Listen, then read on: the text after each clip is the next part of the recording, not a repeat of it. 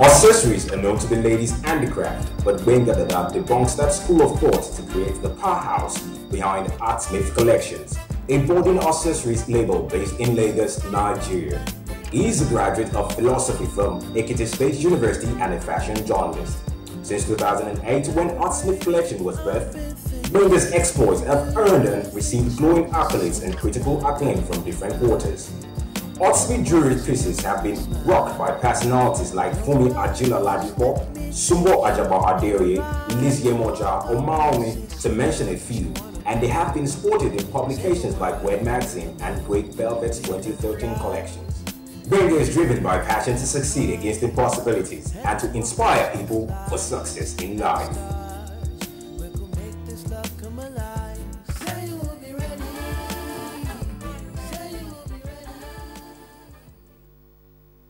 Okay, welcome back on the program. And yes, my next guest on the show today is an accessory designer. Now, um, when I met him, when I initially when I met him, I asked him if it was onileke, or because it, it, it works with beads basically. So I felt um, it's ileke, right? And he had a whole lot to say. He said, "I need to school you. This is not ileke. This is." So I think he would just do that better on set here today. And I'd like to introduce to you an accessory maker his name is Gbenga Dada. Gbenga, welcome on the program. Good afternoon. Good afternoon. Uh, Gbenga Onileke, how are you doing? no, I'm not Onileke. Okay, Voice so, of correction. Okay, so what do you call your art? You work with the beats? Yeah, I'm an accessory designer basically because I don't just work with beats. I work with different elements, so it's not just beats.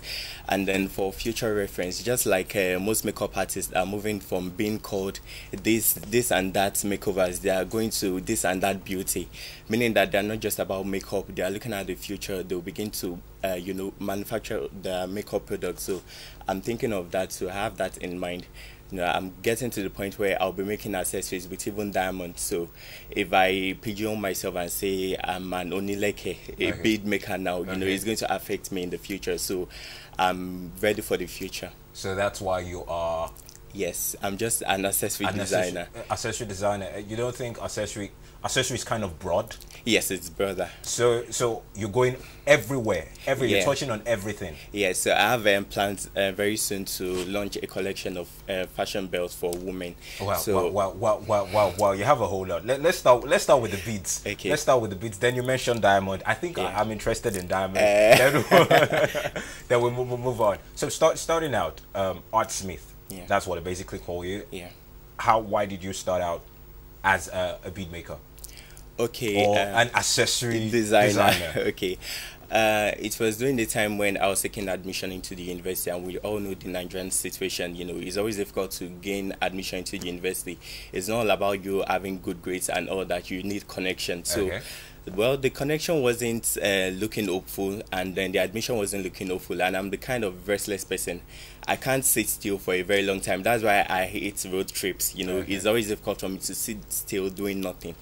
So I found something doing. I initially I wanted to go into embellishing dresses because my sister is a fashion designer. So okay. I wanted to go to uh, embellishing uh, dresses with stones, either precious, either plastic, whatever. I just wanted to beautify things. So I met this uh, church member of mine. Her name is Mrs. Oejobi. She makes beads and she does other things, beads, bags, arts, and all that. So I walked up to her. Okay, uh, I think you can use beads to teach me how to embellish clothes. So that's why I went and therefore, but uh, along the line, I saw at the time making beads, and there was this intricate design. It's called smoke design or something like that. I know it really does look like smoke, you know, like billowing smokes, and and, and it's made with beads. You said yes, made made with beads. So you know, I was really interested in the design, and I couldn't concentrate on the bead embellishment class. And you know, after the class, uh, she's my age mate. I went to meet her. Okay, Olamide, can you teach me this? And she taught me, and I don't know, as fate would have it, I started creating my own designs. You know, I'm the kind of person that I don't like being a copycat. Okay. You understand? Even though I'm a copycat in some sense, you know, when customers come and they bring you a picture, I want, uh, this exactly. Like this. Yes, okay. Okay. but I found myself doing more than just doing what others want. I, you I started your own touch. Yeah, I added my own touch. So wow. I started so working with chains. So it's not just about beats and all that. I started working when with chains. When exactly did you start?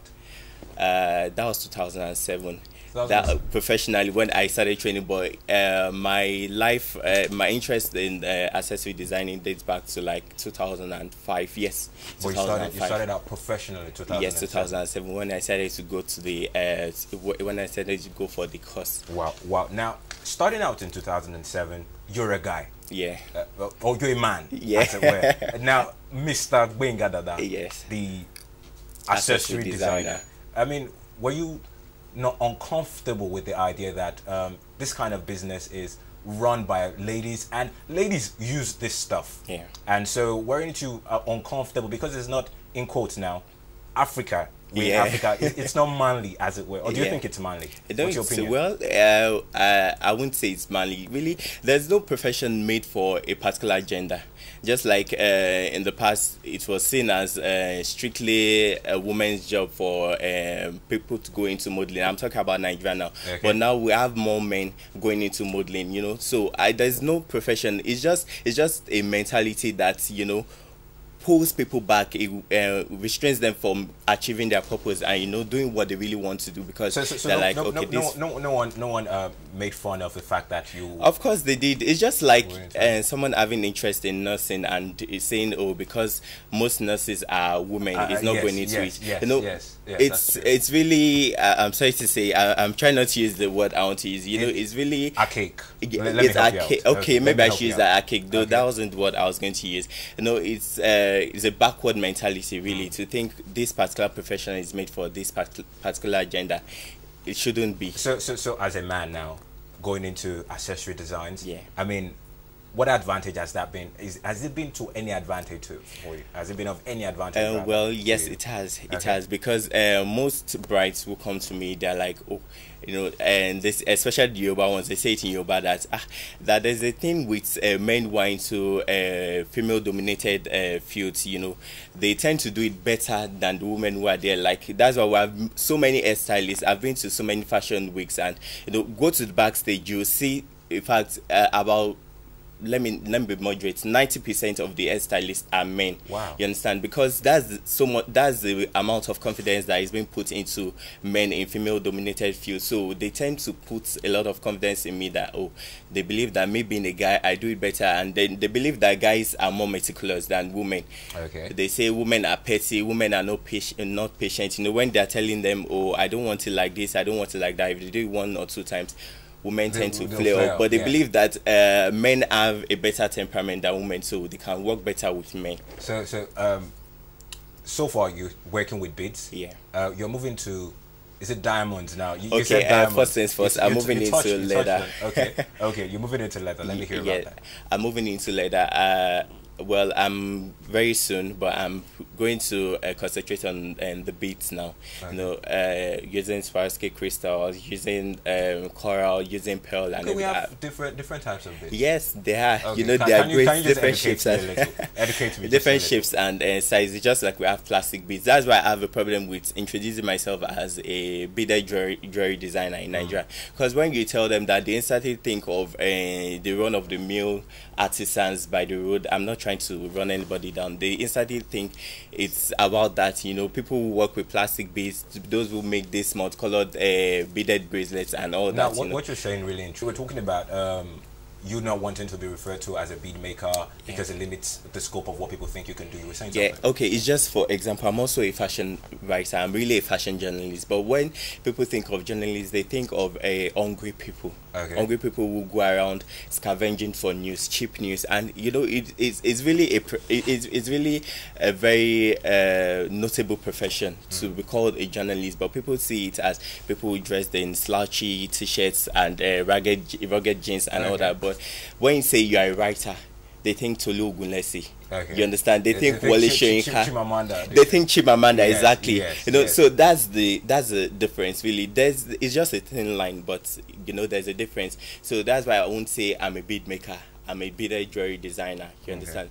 Because of the Niger mentality, people think oh they, they, they limit the scope. Yeah, exactly. Of, mm. They think, oh, those um, bead makers in some Jones in cramped spaces, working day and night, you know. So, So you, you you're about telling me about um, the different um, kind of uh, beads we have. Yeah. You were saying there was this there's crystal there's Swarovski crystals. no no no wh- what did you call it?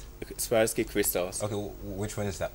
Uh, well, Swarovski crystals is the, the higher grade of the regular crystals that we get in the market. You know, they are in different grades and sizes, and and just like we have, um, let me see, let me see, let me see, just like we have full leather and we have the authentic leather. Oh, you understand? okay, so okay, there are different okay, grades. You get it. So you can't uh, say a leather jacket by Marc Jacobs and you think it's the same one you saw at Balogun Market. No, no. true. So that's the difference. So uh, now nowadays I find myself working more with the uh, high grade uh, materials, not the regular ones people are used to. So when they say it, they say that yes, this is original pearl, this is original Swarovski crystals, and you know, and Okay. it, it gives my work prestige. It gives it a class. Yes, it gives it gives class, class, the sophistication that I desire for it Okay, okay. Just, just, just to um, talk about this class, I would like you to mention your clientele, those you've worked with, those who've modeled for you, for example, Okay. or those those who've worn your um, accessory. Okay, uh, for example, uh, Mrs. Sumbo Ajaba Adeoye, she wore uh, my jewelry for our traditional wedding, and you know that's really a lot for me. okay, okay. And then we have Banke Meshida Lawal, we have uh, Maumi, she wore it for a stage performance. Then uh, Grey Velvet Boutique, uh, the models wore it for their last lookbook, their 2013 uh, catalog. Wow. So if you get the 2013 catalog, you see some of my pieces. Wow. Though uh, my pieces are not being stocked in the store, but it, my pieces were used for um, the lookbook Okay. for the shoes. Now, now let's let's just um, move away from that just a little bit. If, for example, someone wants your, your jewelry, how, how would I how would I get your jewelry? And f- since you said it, they're not stocked in shops, Yeah. so how how would I get it? Uh, How- well, would- they're not stocked. No, in Grey Velvet store. Oh, okay. and that's part of the uh, capacity building efforts that I'm doing now.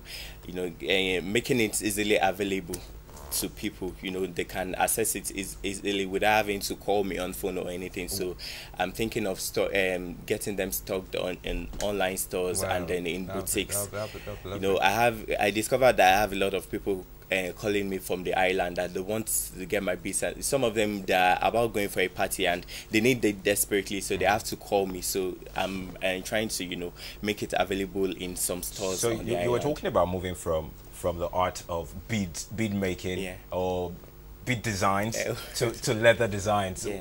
What, what world is that? What would we call the world of leather, leather designs? And Yeah. what exactly are you designing? What exactly are you doing with the leather?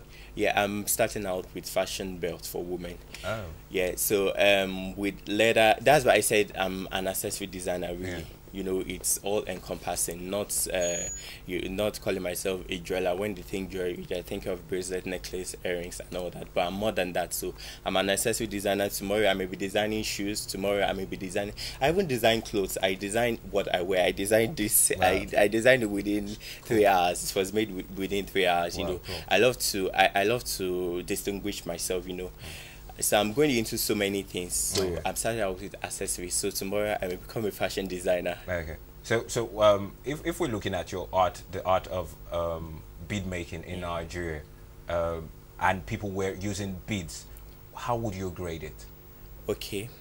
Um, how would I grade it? Well,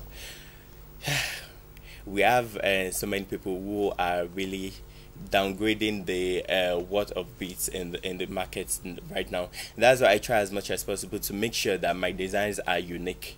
So when you see them, you know that this is signature artsmith. It's not something made in the market But, because but how, how would you grade the, the general market? the general market. For example, the, the market generally, yeah, yeah, is booming. it's booming. It's booming. So Yes. more more Nigerian youths who are yet to get admission into the university can just move and um, into the into the bead market. Yes, it- yeah, because it's really booming. You know, everyone wants to wear beats. Everyone, especially the Nigerian one, they like variety. The Nigerian one likes variety. You know, so they just they just don't want um, boring and gold designs. You get it, and the thing is that gold necklaces are very expensive. So if you want variety, you have to buy a lot of it, and that means you have to have a lot of money. So you- you're saying you're saying beads are not expensive. No, they're not. They're not as expensive as, as gold, and they have they come in uh, different grades. You understand? Okay. So there's something for everyone, really. So you know you can go into the market. Something for everyone. If you're talking about a range, is, is there a price range for for for um, materials made? I mean, accessories Yeah. made from um, what's it called bead as beads. well. In the common market, those made with plastic beads. Okay. But those don't last. so Okay. that's what makes me different from other bead makers. Those made with uh, those made with plastic beads, they go for like one thousand, even as low as five hundred. Okay. Is that ridiculous? Okay. So everyone can wear beads. really. Okay, and and if we go in if we go in eye like it can be what, what amount? As expensive as, as expensive as uh, one million naira. Just for beads? Yes. You What? know, no, no, no, especially no, those uh, especially- diamond. Is it, is it the one diamond encrusted now you were talking No, about? not necessarily diamond encrusted. We have um, beads made with uh, 24 karat gold accents. Wow. You know, so those ones, of course, they can't come cheap. Wow, talking about designs, and you were trying to say um, they could go for as high as one million naira Yeah. gold Yeah. embroideries. Uh, if I want to go into bead making, if someone wants to go into bead making, don't let me use myself as an example. What do you need to start up? The passion. Because if you don't start out with passion, I'm telling you, you'll be burnt out before uh, you even complete the um, training. That's why so many people begin the journey, but they never end up because it takes a lot of passion. You stay longer stringing. The uh, layers may not, you know, come out as you want to, but you have to start all over again. You know, so it takes passion to keep you going. Fa- passion is the fuel that keeps you going, because without passion, I'm telling you, it just like I said, you burn out. So when you started, you started out just with passion, Yes, I did. and like how much to start up? If if I want to start up, or anybody wants to start up, it, it costs how much? Because you have to buy the materials. Yeah. You have to buy the materials and the clientele. So you need to you need to like build up. You just said passion. How much would it take to start up, for example? Then how would uh, a boarding uh, accessory designer get the clientele?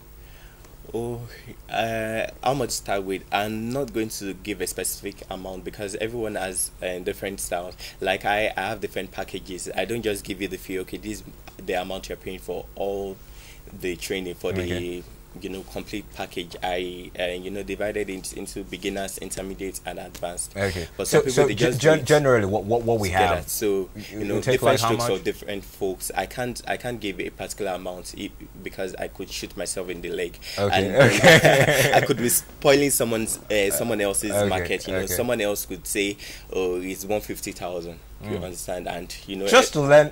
I, I thought it was going to be cheap. you know, well, it's, oh, is it's that an- cheap?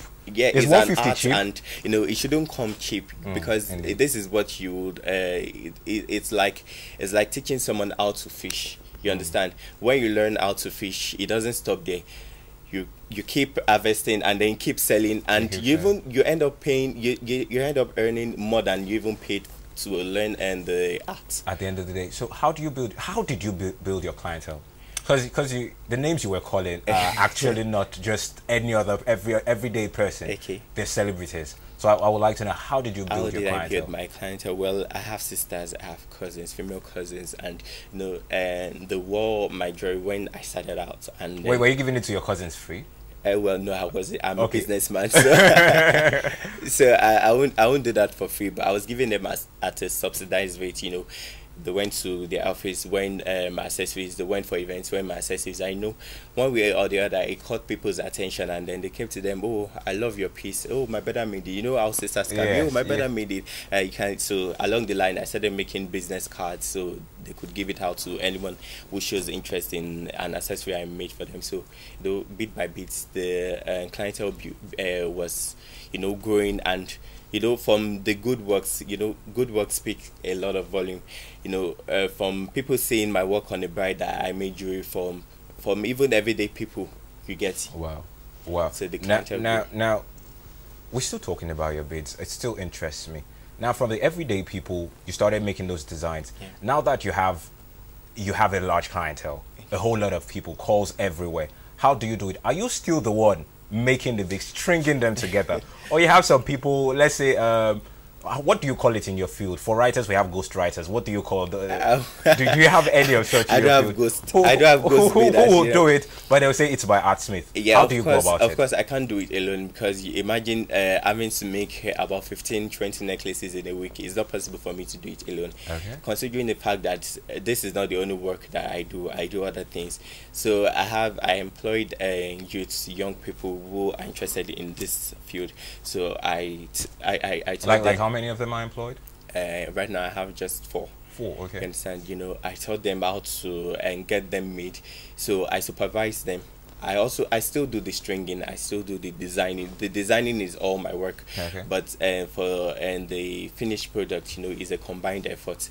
But I'm always there supervising, making making sure things are done right. Okay. So you are you are an employee of labor. Yeah, I am. I, I, this is this is lovely. Uh, starting out, starting out, not getting admission. Did you finally get admission into the university? Yeah, I I didn't even did. ask. yeah, I did. You did. Are, are you true now? Yeah, I am. What did you study? Philosophy. Okay, so this is serious and philosophy and your okay, okay, it's still art. It's still Yeah, art, but definitely you know philosophy has nothing to do with designs. It does. It does. Really? You know, philosophizing is all about you know uh, using your uh, cognitive abilities, and really designing is a cognitive ability. If you ask me. Okay, And okay, philosophy is the love of wisdom. You understand? And wisdom involves uh, work ethics and all that. So, as a professional, I'm a professional now. I have to use those work ethics that I've learned from philosophy. Okay, okay, You understand? to be able to okay. advance and to be able to satisfy my customers, serve people well, and you know, just be the best at what I do. Mm, You understand? That's what distinguishes me from uh, the regular artisan who, you know, who doesn't understand what it takes. You get it? Mm. Okay, like the one you have on your hand now, for example. Yeah. If we to touch on it, what what's it called? What would we call it? Yeah, there's uh there's a new line for men. You know, uh, you- a, a, a client just called me up and said, "Oh, my husband has been asking me that he really wants he, he wants to start uh, wearing beats." I was like, "Are you kidding me?" You can't be serious. Said uh, so. Can you just please uh, make some designs? You know, like samples that I can see something masculine that you know they can see made with beads. Oh, I said, oh, no problem. So, and this this is not what uh, this is not crystals. It's not what I'll use for a, a necklace Okay. um, that I'm making for a lady. You Okay. understand? And then this accent is not what I- is not the regular thing that I'll make for a lady. So you know, I researched. I went on the internet. I would started bringing out old uh, August catalogs now, and I went to the jewelry section. Section. I was flipping through the pages, trying to find what. Uh, male jewelry, you yes. understand? Male jewelry looks uh, looks like. So I started developing myself, and I found myself uh, sketching designs. And you know, at first it didn't look like it, but along the line, you know, it flew. The idea, you you know, just to- flew. Okay, that, that, that brings me to um, moving on to my close. We're closing up soon enough, but let, let me ask this question having to do with men because we've been talking about ladies, ladies, Yeah. ladies. I mean, is there designs? Do you have designs besides this? Yeah. Designs for men? Can men actually use beads? Is it permit, permitted for men, fashion wise now? yeah, for yeah, men to like, use beads. you know we have and there was a time that uh, you know a lot of male celebrities were wearing crucifix and those crucifix they they made with uh, diamonds they made with gold some were made with gold but most of them most of them were made with uh, agate stones precious stones and those stones really basically they are beads Okay. you get so okay, it's very very specific type of. Uh, specific types. Know, I was talking. I've been hammering on uh, grades. You understand? Okay. So um, most men, most men are beginning to become aware of wearing accessories. You know, apart from the wristwatch and then the gold chains. You know, they're beginning to wear variety. Everyone loves variety. They want spice. They don't just want to be seen wearing gold diamonds, wearing and these gold diamonds. They can't repeat it all the time. You know, indeed, understand what I mean? Unless you know the media will just blow it open that is that the only necklace you have? So they want variety. So they would rather have um you know about 10 of this kind of bracelets than uh than buy you know and just two diamonds because diamond necklaces because that's all they can afford. Okay. and then looking at it for uh, traditional weddings most in fact m- maybe 99% of uh, Nigerian grooms the wear beads for their traditional wedding. Okay, that's very the true. Iyo, That's true. It's That's called true. Iyo in uh. Yoruba land. You know, it's the traditional coral necklace. They very everyone. You know the way it's. Okay. So that's what distinguishes them from the regular man who man, just wear that, agbada. that we have. Once again, thank you so much. Yeah, welcome. Thank you so much. But I wouldn't just let you go. I wouldn't let you go. We should wrap up on beats. I mean, that's about it on beats for us. But I, I would like to know if I want to get in touch with you, anyone wants to get in touch with you, on Twitter and Facebook. Can I just have your Twitter handle? Then Okay, you can follow me on Twitter at um, Gbenga Artsmith, and you can also follow me on Instagram at Gbenga Artsmith. Okay, Gbenga Art Smith. Yes, The same spelling for Gbenga. G. G B E N G A, then Artsmith, A R T S M I T H. Okay, that's on Twitter. On Facebook again? On Facebook, you can add me up and Gbenga in quotes Artsmith Dada. Gbenga in code at Smith Smith Dada. Dada. Okay, I'd just like to take you just just briefly since you're a fashion journalist. Yeah. Um, has the experience. For fashion journalists, um, you get you just get a little column in, in a newspaper. That that's what I see, and some couple of pictures, and they say picture speaks. Yeah. Okay, so so I, I would like to know: is it just you just take pictures as a fashion journalist, or you there's a whole lot of build up to it, write ups? I would like to just know. Just give us a, a brief a brief background, Yeah, just briefly. Uh, when, Within two minutes. When I'm writing about, um, you know, when when I'm writing as a fashion journalist, I'm not just writing about anything. I research just Okay. like a doctor research. Hmm. So I go out, I see, I observe latest trends, I watch TVs, I buy magazines, I make sure I'm abreast of the latest trends, and then you know I'm I'm going for events, seeing what celebrities wearing what. I'm trying to see what Rita Dominic is wearing. I'm observing our style is evolving, and I'm writing all about that. Then I'm influencing people's dress sense. You know, uh, people can't just dress anyhow. You can't afford to dress anyhow. Okay, so what, what can a man wear now? What, what would you just what's in, what's the tr- latest trend for a Okay, man now? uh, men are becoming more bold. Men are wearing more colors. More, more men are wearing floral prints. More, I, uh, we would have a governor, a very unlikely person who is really repping that trend, and Governor Rotimi Amaechi. Okay. For his recent uh, events, for his recent outings, he has been wearing a lot of floral, Floral colors. Yes. Wow, wow, wow. Just for a lady, can colours. you just tell me what the ladies are putting on now? I would just like to know that. Uh, we'll well, wrap up on the show. uh, many ladies that are going for print on print. It's called Clash of Prints. Many Clash ladies are, you know, becoming bold. They're becoming, uh, and then they're wearing uh, maxi skirts. Max is here. Yes, Thank you so much, Gbenga Dada, for coming on the program. Thank you. Thank you so You're much, Art. Smith, once again.